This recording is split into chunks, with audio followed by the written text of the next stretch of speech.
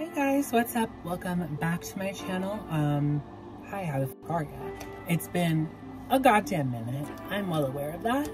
Um, I'm sorry for being lazy as shit.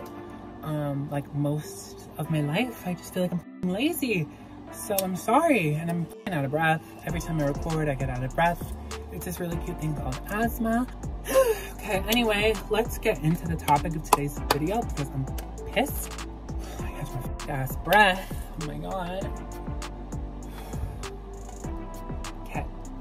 So today's video I'm going to be talking about dating as a trans woman, um, how fucked it is, how terrible it is, um, for me at least, and how bad you get treated. Ignore the nails, ignore the ratchetness. Um, it's just, you know, it's what you get.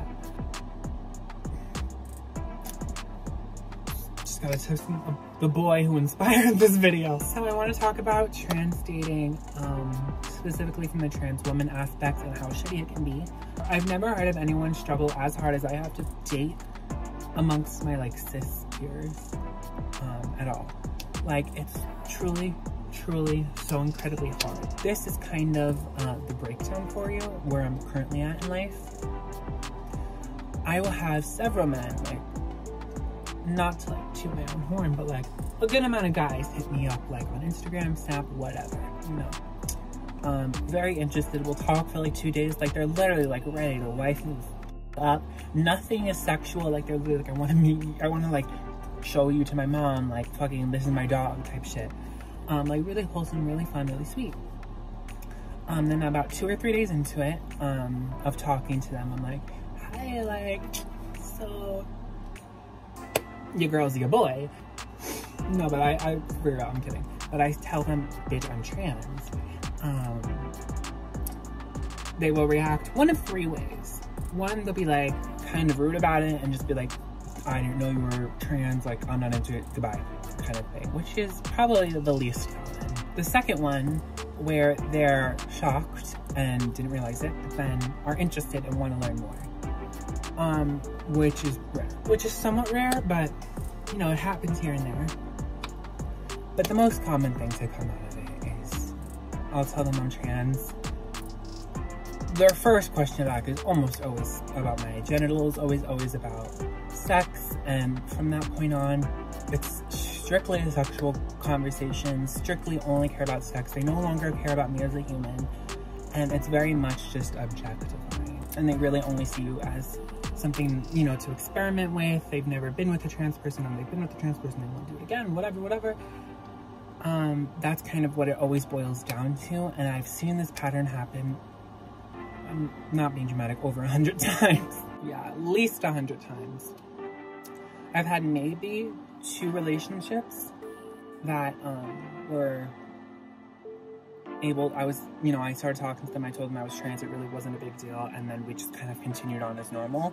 And those were like my two longest term situationships, whatever you want to call it. Um, but even those didn't fucking work out because it just narrows your pool so low, it, I feel like, of like actual decent guys who want to be with a trans person and not just sexually be with a trans person, which is like most of them.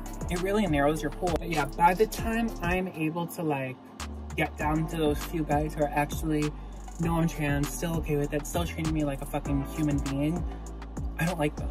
Like, cause they're like, you know, not, like, I feel like it's just a very narrow group to pick from and oftentimes they're not my top picks. Um, and it's just left me in a, a bad situation where I um, have a very limited options and I don't like my options, so I kind of just am in limbo.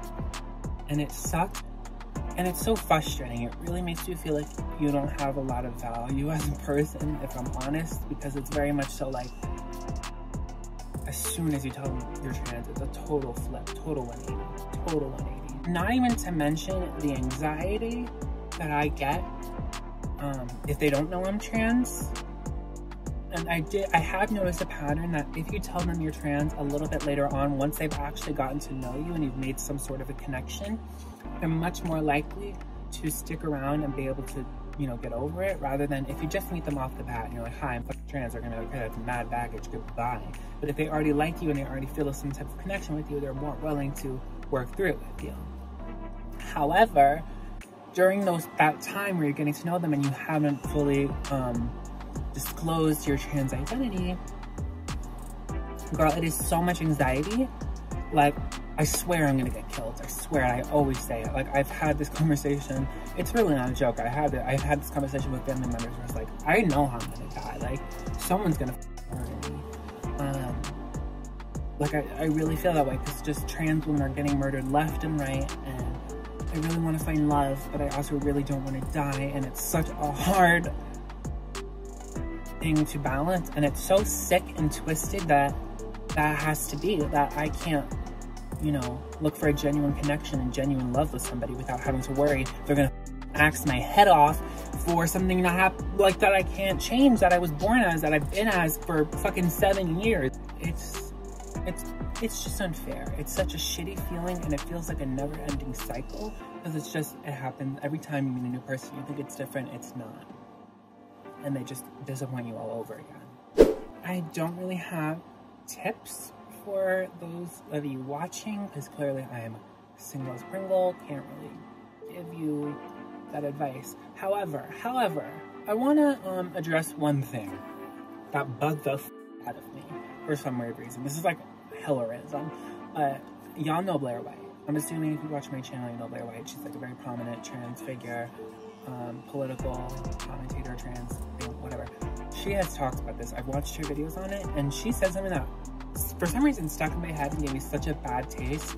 Like, she was like, I don't know about, like, you other trans... Uh, by the way, I like Blair. Like, I'm actually a fan of her. I watch actually every video and agree with most of what she has to say. But, most of what she has to say. But, she said something in this video where she was like, like, I don't know, like, about you other trans people, but, like, I've never had a problem dating. Not, not me. Like, stuff like that. Um, and I don't understand that. Let me hold up. Actually, her fiance is kind of ugly. I understand that. She settled, bitch. She settled. That's what it was. I think that's the difference. Because, like, I most definitely could have had, like, three boyfriends by now. But, like, three ugly boyfriends. Or three, like, boyfriends who I didn't feel I was compatible with personality-wise. Um, settling. Settling. I'm trying to not settle. But I, I'm probably to have to end up settling. That's, that's my issue. Please comment what you think of this, like what has been your experiences, what is your advice, because um, I'm, I'm definitely learning with you guys. Even though I've been in this transition for seven years, this is really like, I'm turning 20 next month, this is really like, I've never been an adult before. Like, this really, I feel like I'm coming into my adult, my womanhood, um, as I enter my 20s and I need to figure out more proactive ways of finding love that um, won't get me murdered. So if you have any ideas, hit a bitch up. I hope you enjoyed this. Um, I hope you relate to this. I hope this made you feel not alone, that someone else is going through what you're going through. Because um, it sucks. And if you're not going through this and you're a trans girl in a happy, happy relationship that you didn't settle for, um, bitch, you do you, because that's serving Anyway, I gotta go. I love you so much. Follow me on Instagram, follow me on TikTok. I'm looking it down below. Love you, bye.